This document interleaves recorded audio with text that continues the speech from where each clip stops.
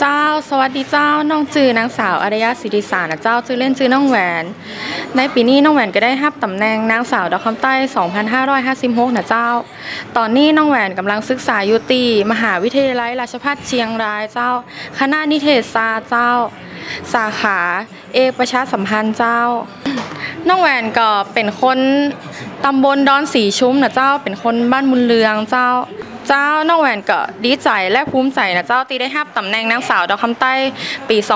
2556 เจ้า เพราะว่าเวทีนางสาวดอกคำใต้เป็นเวทีตีมิเกียรติและศักดิ์ศรีของม่หญิงดอกคำใต้ของเฮาเจ้า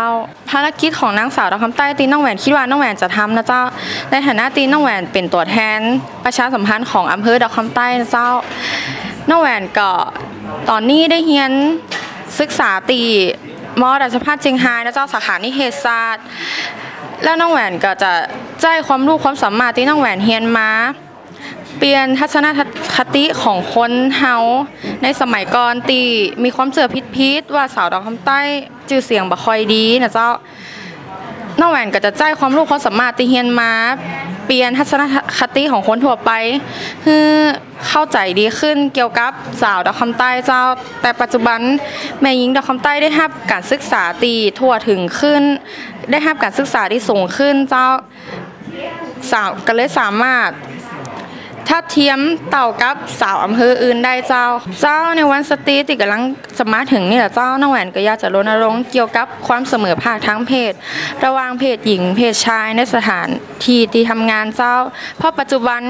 งานบางประเภทหรือตำแหน่งงานระดับสูงมักจะเป็นของผู้ชาย ส่วนใหญ่เจ้า น้องแหวนก็อยากจะให้ผู้ใหญ่ในสังคมมองถึงศักยภาพของผู้หญิง และขอให้โอกาสผู้หญิงในการทำงานให้ทัดเทียมเต่าปูจายเจ้า และสุดท้ายนี่น้องแหวนก็ต้องขอขอบคุณ พันจาอากาศเอกนิพันธ์บุญหลวงเจ้าในอำเภอดอกคำใต้ของเฮาเจ้า ตีสนับสนุนน้องแหวนในการประกวดข้างนี้ และขอบคุณปีน้องชาวอำเภอดอกคำใต้ตีมาให้กำลังใจน้องแหวนเจ้า